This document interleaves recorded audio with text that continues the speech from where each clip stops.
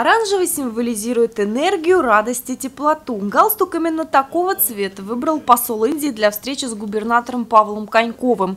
Почетный гость Панкадж Саран прибыл в регион для участия в промышленно-экономическом форуме «Золотое кольцо».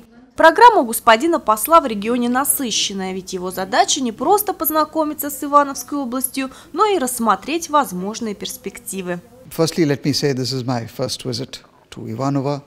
Это мой первый визит, и он меня очень впечатлил.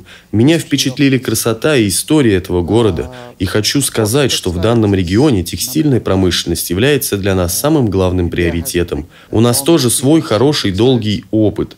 То же самое можно сказать и об Иванове. И сейчас я хочу для себя определить, каким образом мы можем возобновить это сотрудничество и сделать эту сферу более современной. Здесь есть много возможностей. Я хочу понять, как это может принести пользу как Индии, так и Иванову. both for the region here as well as for Indian companies.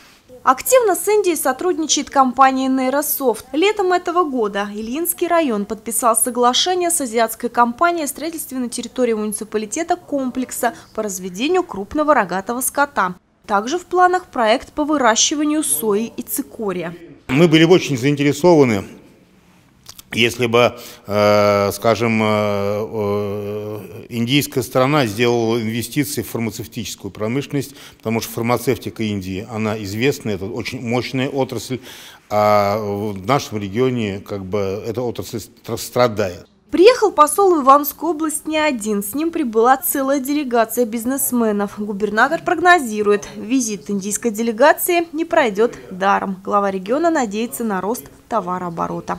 Елена Белова, Денис Денисов, РТВ Иваново.